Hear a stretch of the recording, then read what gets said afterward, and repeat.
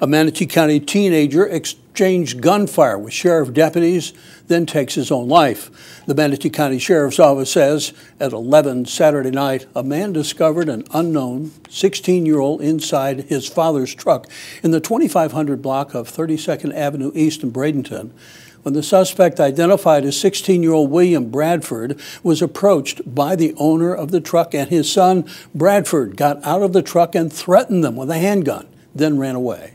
Two deputies tracked the teen to a wooded area where gunfire was exchanged.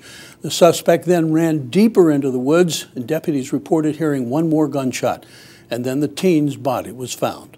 Dave Bristow with the Manatee County Sheriff's Office says that on Friday, the boy stabbed his mother, who suffered non life threatening injuries. We didn't know at the time when we're called out to this vehicle burglary on Saturday night that it was the same person who had stabbed his mother the previous day. We didn't know that at all.